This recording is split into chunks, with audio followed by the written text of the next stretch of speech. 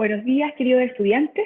Hoy tenemos un nuevo material de aprendizaje, ¿sí? así que comenzamos también una nueva unidad, de acuerdo a la priorización curricular emanada desde el Ministerio de Educación.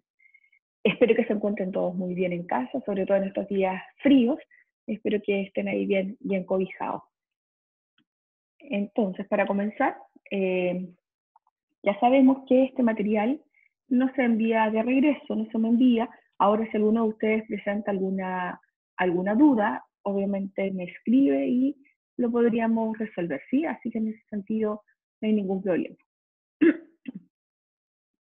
El primer objetivo de aprendizaje priorizado en este caso, que corresponde justamente al primer nivel, es desarrollar modelos que expliquen la relación entre la función de la célula y sus partes considerando, primero, sus estructuras, como el núcleo, el citoplasma, la membrana celular, pared celular, vacuolas, mitocondrias, cloroplastos, entre otros y también eh, de acuerdo a la clasificación de las células, como por ejemplo en células eucariotas y procariontes, que es lo que vamos a ver en esta clase, ¿sí?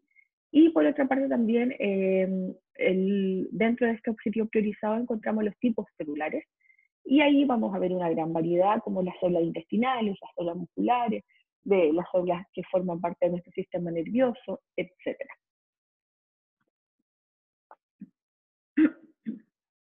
La ruta de aprendizaje en este caso es, primero vamos a activar algunos conocimientos previos y estos conocimientos previos están relacionados con eh, los contenidos vistos anteriormente que corresponden a moléculas orgánicas y luego vamos a ver de lleno la célula, vamos a tener una actividad final, un resumen y también una autoevaluación. Entre medio también, ojo, hay actividades, ¿sí? Primero, eh, van a ver un video, ya, tienen que pinchar sobre esta imagen y esta va a llevar, eh, este, esta imagen les va a llevar a un video de la National Geographic, en donde acá tenemos una pincelada de cómo comienza la vida, ¿cierto? Cuándo comienza el desarrollo de esta vida, cuándo estas células comienzan a desarrollarse. Y eso ocurre durante la etapa embrionaria, ¿ya? Ahora entonces ustedes van a tener que establecer la relación que existe entre las moléculas orgánicas, vamos a tener que recordar la función, ¿cierto? Algunas, reparación de tejidos, participan en el crecimiento, participan en el desarrollo de los organismos, participan entregando energía, participan eh, desde una forma defensiva, etcétera, ¿cierto? A modo general. Por lo tanto, esas funciones las tienen que relacionar con la célula eh, y eso es eh, lo que les va a entregar el video en el fondo, ¿ya? Así que aquí tienen que establecer relaciones. Entonces, empezamos. La célula ya nuestro mundo microscópico. Eh, primero nosotros tenemos que comenzar definiendo qué es la célula, ¿cierto? Y la célula, como dice acá, se define como la unidad mínima de materia viva que realiza todos los procesos vitales de un organismo. ¿Ello qué significa? Todos los seres vivos estamos formados por células y todos los procesos que realizamos los seres vivos se llevan a cabo en nuestras células. Por ejemplo, cuando nosotros eh, tomamos el oxígeno del ambiente, ¿cierto? Ventilamos, respiramos. Ese oxígeno finalmente, ¿dónde tiene que llegar? Tiene que llegar a las células para que ellas hagan, por ejemplo, respiración celular y de esa forma nosotros podamos obtener energía. Por lo tanto, todos los procesos vitales que nosotros realizamos, en principio, ¿dónde ocurren? En las células. Porque si nosotros recordamos los niveles biológicos de organización, ¿cierto? Nos vamos a encontrar con que pasamos desde lo más pequeñito hasta lo más grande. Entonces, ¿con qué nos vamos a encontrar? Con que el nivel molecular primero encontramos al átomo, que lo forma todo, estos átomos se unen con otros átomos, forman moléculas, forman compuestos, y estos compuestos también eh, interactúan entre sí y forman parte de algunos organelos celulares, que ya los vamos a ver. Estos organelos funcionan entre sí, eh, interaccionan y dan origen a las células. Las células el conjunto de células vamos a ver que forman tejidos, los tejidos forman órganos, los órganos forman sistemas y los sistemas en este caso forman eh, los organismos. Ahí llegamos hasta el nivel de organismos solamente porque de ahí podemos seguir con ecosistema, pero en este caso vamos a llegar solamente hasta el nivel de organismo. Por lo tanto, si nosotros nos damos cuenta, todos los procesos vitales que ocurren en un organismo ocurren primeramente en las células. ¿ya? Ahora, tenemos organismos que están conformados por una célula y estos organismos se conocen con el nombre de unicelulares, ¿cierto? Ahí tenemos las bacterias, por ejemplo, tenemos algas que son unicelulares, eh, otros organismos que pertenecen al reino protista, y ahí encontramos los protozoos, y algunos tipos de hongos, o organismos que pertenecen al, reino fungi, y aquí encontramos las levaduras, ¿cierto? Estas levaduras con las que nosotros hacemos el pan, que son, eh, son organismos unicelulares. Y por otro lado, encontramos organismos que están compuestos por muchas células, ¿cierto? Y ahí encontramos los organismos que son pluricelulares. Estamos nosotros, ¿cierto? Como seres humanos, que estamos conformados por una infinidad de células. Encontramos las plantas, algas también, pero en este caso encontramos algas que son pluricelulares. Encontramos algunos tipos de hongos, ¿cierto? Las setas, eh, animales vertebrados, invertebrados, etc. Por lo tanto, esta primera clasificación de los organismos finalmente, o cómo los podemos clasificar, es de acuerdo a la cantidad de células que los conforman. Repito, si es una célula, corresponden a organismos unicelulares. Si están compuestos por más de una célula, corresponden a organismos pluricelulares. ¿Ya? Ahora, no siempre se, se ha sabido de las células. ¿ya? para poder descubrir la célula, eh, tuvo que haber un desarrollo tanto de la ciencia como también de la tecnología. ¿Y de la tecnología a qué me refiero con esto? Me refiero a que tuvo que haber un desarrollo de un instrumento que es vital para poder observar, eh, eh, para poder observar en este caso las células que en su mayoría son microscópicas. ¿ya? Eso quiere decir que a simple vista no las vemos. Y ahí nos encontramos con el desarrollo de la microscopía. ¿ya? Acá hay una pequeña, un pequeño resumen en línea de tiempo, un, una historia, un poquitito de historia, ya que ustedes van a tener que revisar acá en estas páginas de estudio que yo les estoy pinchando acá y ahí tienen su libro, ¿sí? Pero acá nosotros que podemos decir que eh, Francisco, Francis, eh, Zacarías Jensen fueron los primeros eh, investigadores en este caso que crearon o fabricaron en este caso un microscopio. En este caso fue un microscopio muy, muy, muy rudimentario, no, no es como los microscopios actuales, ¿cierto? En donde finalmente un microscopio está, su función está dada por las lentes que, que se utilizan y que nos permiten tener un mayor aumento en este caso de lo que podamos observar. Por lo tanto, gracias a este invento en 1591, si ustedes se dan cuenta, hace mucho tiempo, esto dio pie para qué? Para que otros investigadores pudiesen mejorarlo y también pudiesen investigar eh, este mundo microscópico. ¿ya? Entonces, el primero, el primer científico que observa células, pero vamos a ver que no observa células vivas, eh, fue Robert Hooke, ¿ya? quien observó en un corcho, corcho de estos que se utilizan, por ejemplo, para tapar el vino, que son de madera, ya hay algunos que son plásticos, pero pensemos en un corcho de origen vegetal, ¿ya? Él observó, a través de un microscopio, observó celdillas, ¿ya? Y de ahí proviene justamente el nombre de células. Él observó unas celdillas que conformaban esta estructura del corcho y a esa estructura las llamó células. Como yo les decía recién, Hooke no observó células vivas, sino que él observó las paredes vegetales, eh, las paredes de las células vegetales que, de, de células muertas que iban quedando. Y luego vienen otros, eh, otros científicos como Anton van Leeuwenhoek, ¿ya? en donde él comienza a observar otras células, por ejemplo, células en este caso animales como los glóbulos rojos, espermatozoides, y también observa que en el agua hay microorganismos. Observa también que hay organismos que a simple vista no podemos observar. Seguimos entonces, Matías Schleiden, que observa también en este caso en tejidos vegetales y observa que los vegetales también están constituidos por células. ¿ya? Y eh, luego viene Theodor Chong, eh, también realiza observaciones en células en, en, tejidos animales y comprueba que los animales también estamos constituidos en este caso por células.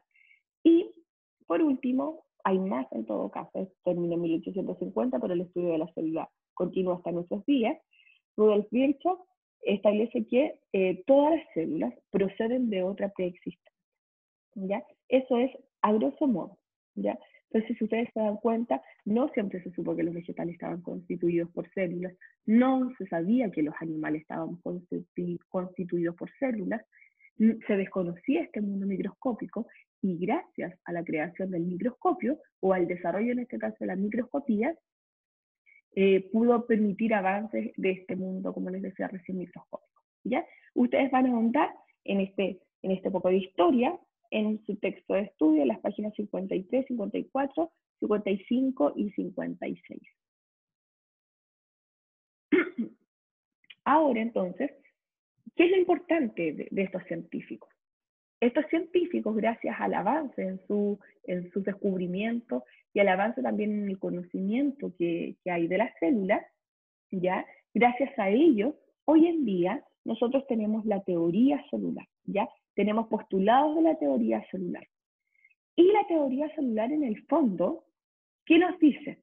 Nos indica que las células son la unidad estructural, forman a los seres vivos, es la unidad funcional, ya ahí ocurren todos los procesos, eh, los procesos metabólicos, todas las reacciones químicas, es la unidad de origen y la unidad de herencia de todos los seres vivos. ¿ya? Estos son los cuatro postulados de la teoría celular, ¿ya? que nos indican en el fondo que la célula es la unidad mínima, ya es la unidad mínima de todos los seres vivos. ¿ya?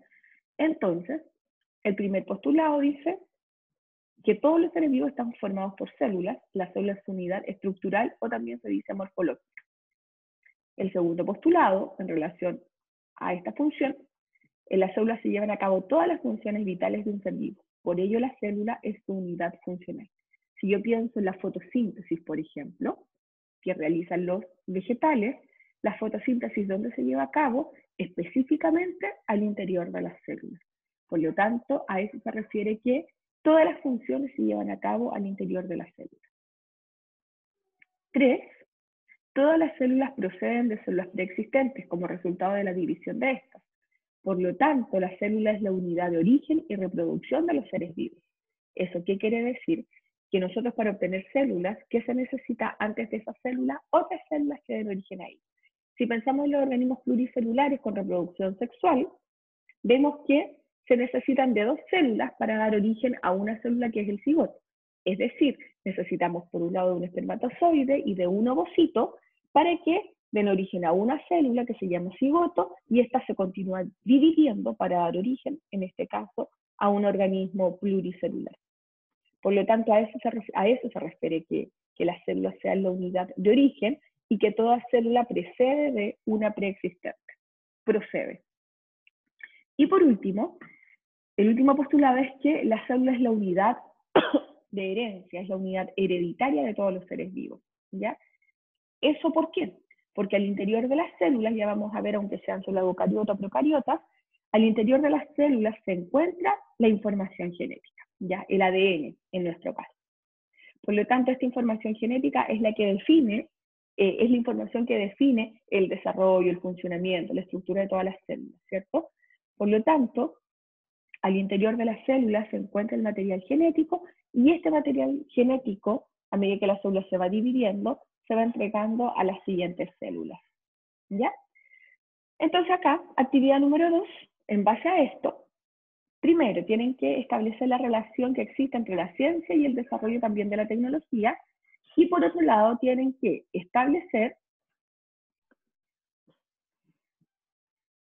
y por otro lado también tienen que establecer, explicar con sus palabras los cuatro postulados de la teoría celular, y van a proponer un ejemplo de cada una de ellas.